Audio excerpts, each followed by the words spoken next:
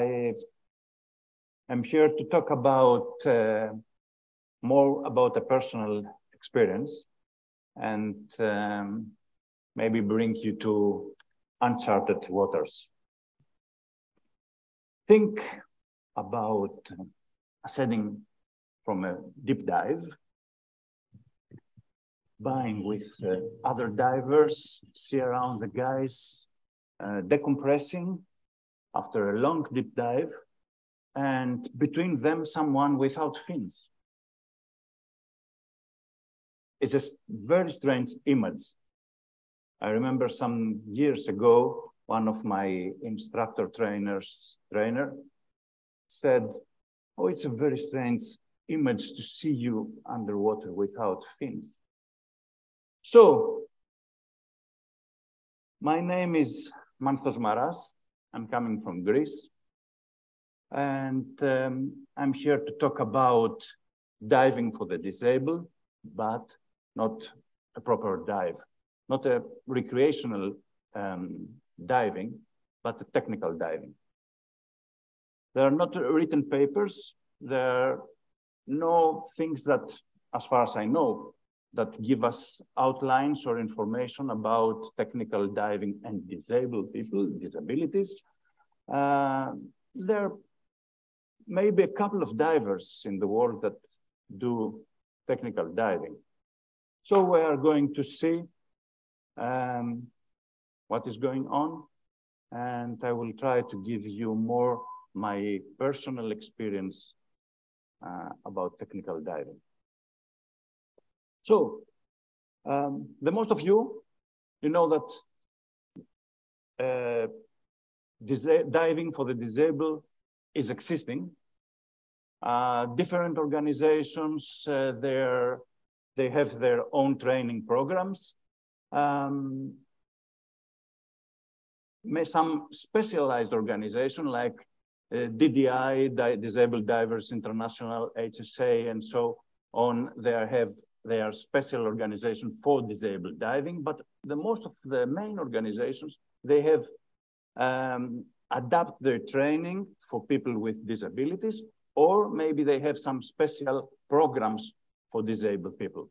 So everyone knows how to train, how to help or to assist disabled people, but always in recreational programs.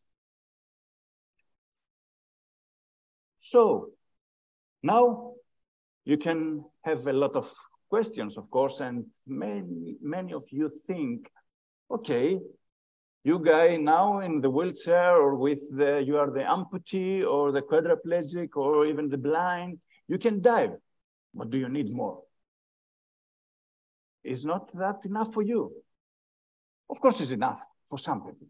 But as we are humans, you know that uh, there are a lot of things that we want to do over the limits. Otherwise, humanity could not be in this place where we are now, maybe looking for the Mars. First of all, deep diving, decompression diving, diving over the recreational limits is a challenge. And this challenge for many of you is challenge also for, also for me. Deep diving is offering many times some things that it's not, uh, we, it's not possible to reach it when we dive in shallow water, especially the place where I'm living. I'm diving in a Greek island uh, about five months a year, and all the beautiful things are deeper than 30 meters maybe. So deep diving is necessary, is a necessity. There also, uh, there is also diving beyond the recreational limits, but in a professional level, let's say, like dive masters and above. Can um, disabled people be professionals? Can be instructors, dive masters, teachers of diving? This is another thing, and uh, we don't have now, I think, the, the time to discuss about it, but maybe another time. But let's talk now more about um, the technical diving itself. Another thing that we can um, discuss and um, have it as a challenge is the rebreather diving. I was uh, back in 2006 try the rebreathers for first time, and I found that is a unit that helps me a lot to overpass some problems I had with the open circuit. Of course, open circuit is much simpler, but from the other side, I could have uh, many advantages in the closed circuit, so I stay there for longer. Um, so, is it possible? Is it possible to do technical diving and being disabled at the same time? As I said in the beginning, is only my personal experience. I cannot talk in general, but I hope I will raise a lot of questions later uh, as I try to make my presentation short and um, I will just give you some of my own experience. I started uh, diving uh, about 30 years ago uh, with the Greek Federation under a CMAS, like uh, I got my first um, certification, one star open, open uh, water diver. And later I continued to PADI, where I got all my certifications there uh, up to the instructor level. And I remember the um, a certain moment when my course that I went to the course director and asked there if I can do my instructor course. She was like, I don't know. Can you be instructor? Let's ask PADI. And I still remember this answer, and I'm very happy about it, of course. Uh, we contacted PADI at this time, and they said, IDC, the instructor course, is IDC. It will be like it will be. Exams are the exams. The IE will be an IE. If he will be successful, he will be an instructor. If not, not. That's all. So I was participating in my first IDC. I was successful. I was uh, very happy at this time. It was hard. It was not easy for me. I had to do a lot of adaptation, but I was successful.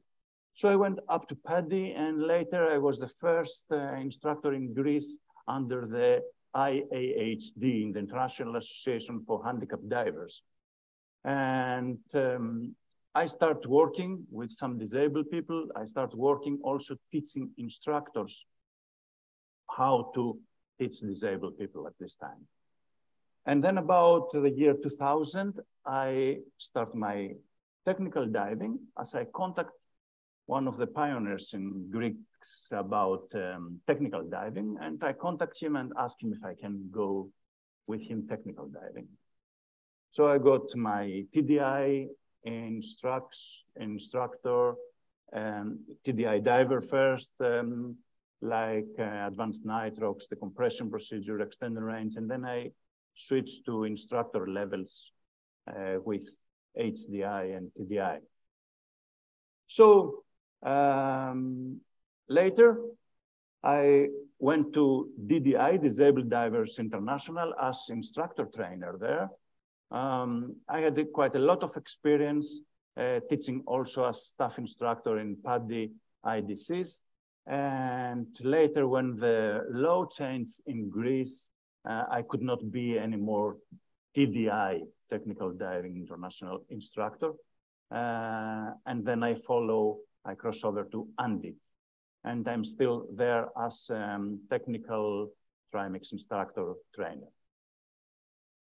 Um, so what my personal experience um, show, it was that it is possible to do technical diving.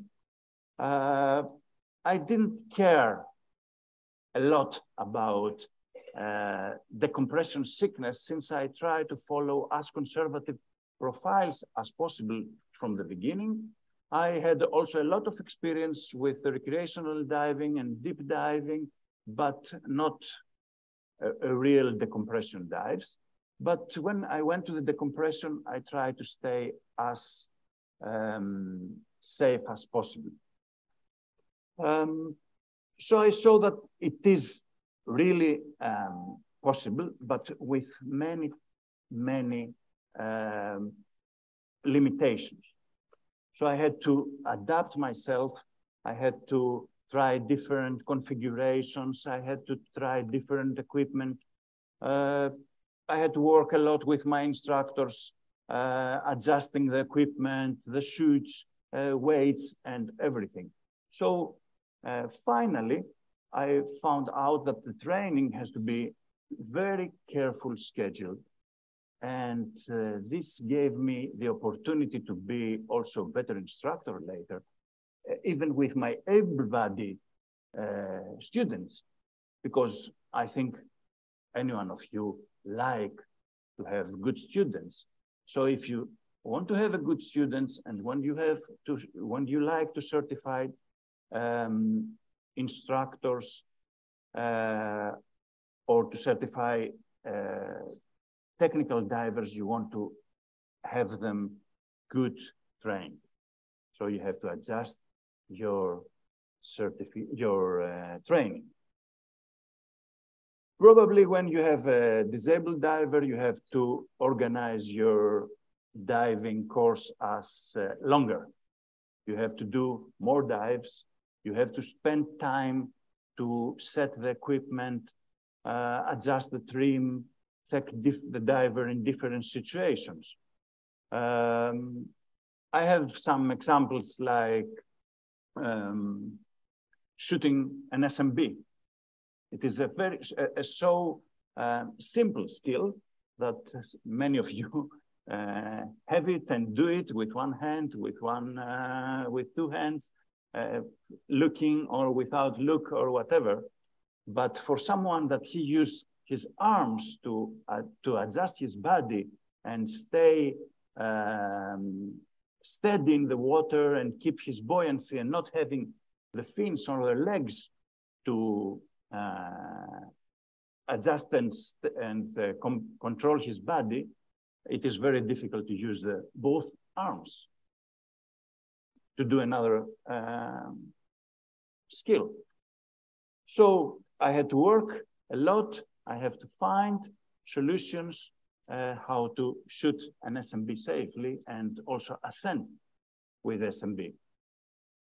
There are solutions. I cannot tell you everything now. It's some secrets, but you can follow some of my course later. anyway, uh, I give you an example that it's uh, many of you use the spools now.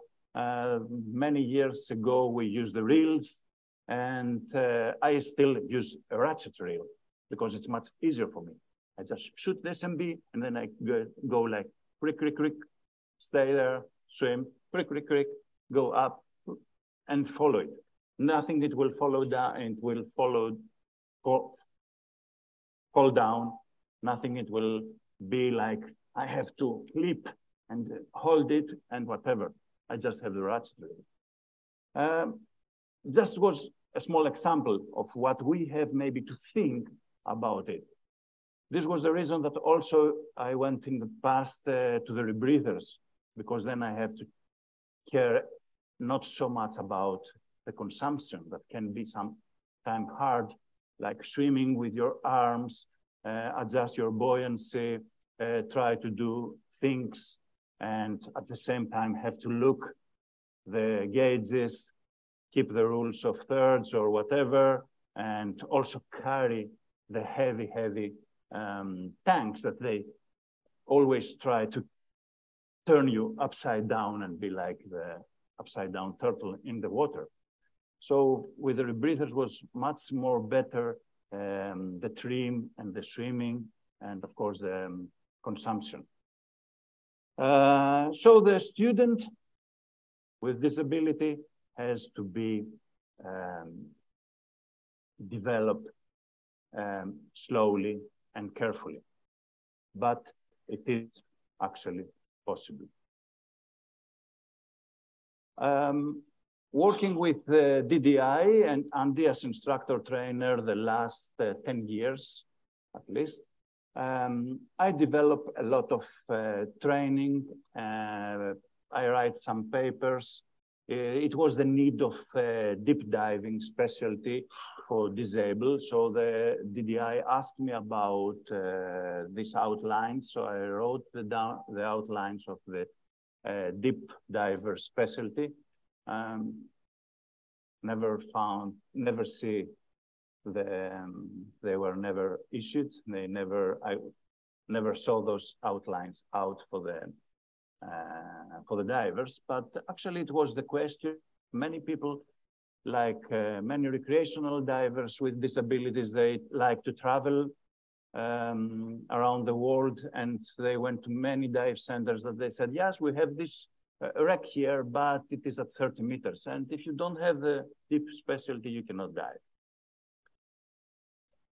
This is another thing that we may uh, talk later about training and uh, the possibility for someone that has not the deep diving training to dive at 30 meters. From my, from my side, they can dive. Uh, but anyway, this is another topic.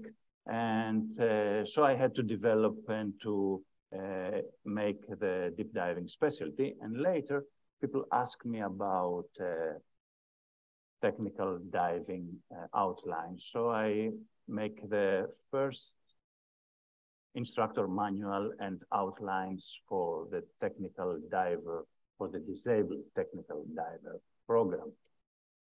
It was not issued. Um, so I'm like coming to the end, say that there is a completely new field, uh, ready for development, of course. It is um, a field that may be is uh, very challenging for instructors, very challenging for disabled divers, and we think that uh, there is there are more things to do. Um, I dive now the last uh, 10 years, let's say, almost uh, deeper than 30 meters diving for like five months a year. Um, I have been diving to the level of uh, 60 to 80 meters for more than 1,000 times. And I never had an issue with the decompression sickness.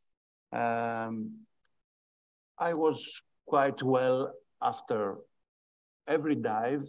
And uh, I had, uh, of course, problems many times. I had to, to solve problems.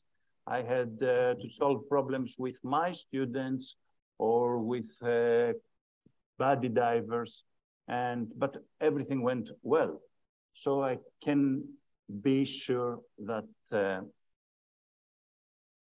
technical diving for the disabled is existing. Uh, the main organizations, maybe they can probably do things about it and uh, maybe put also there some paragraphs like if someone is not able to move the legs or whatever, he can do that skill in this way or that skill in this way, like we do in uh, recreational diving training. And of course, there, there is a need of instructors that they have the patience, they have the will to train disabled divers. And of course, those disabled divers, they have to be enough skilled for that. That's my short presentation. Yeah. Thank you very much.